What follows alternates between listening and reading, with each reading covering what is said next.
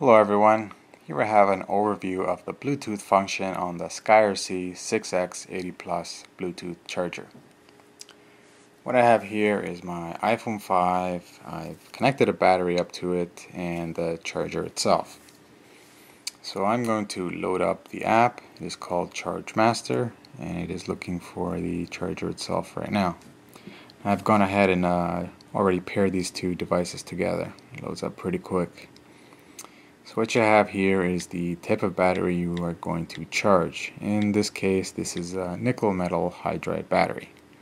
And here you have some other settings as in charge, auto charge, discharge, repeak, and cycle.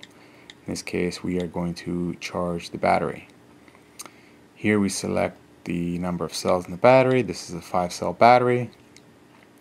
And confirm that. And here we have the charge rate and the discharge rate. So here we are charging the battery and we are going to charge at 0.5 amps. If you were to going to discharge the battery you would set it up here. For now we just set this to 0.5 amps and we hit confirm. Once you make sure that all your settings are correct you hit OK.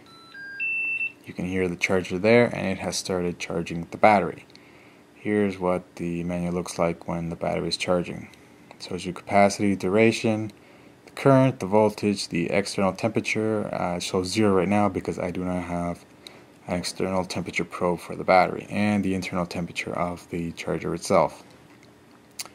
Over here you've got uh, this graph function here. It shows you the voltage being put in and also the time. Now one thing about this uh, Bluetooth function is the limited range.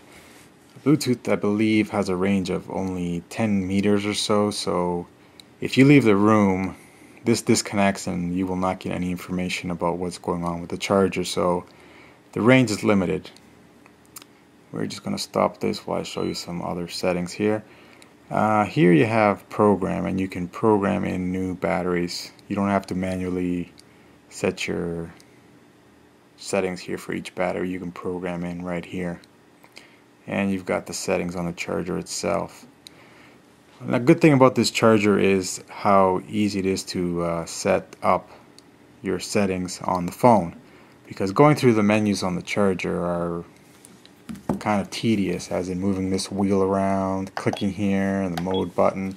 It's much easier to do it on the the phone and quicker as well and that's about it. Any questions, leave it in the comments and I will answer them.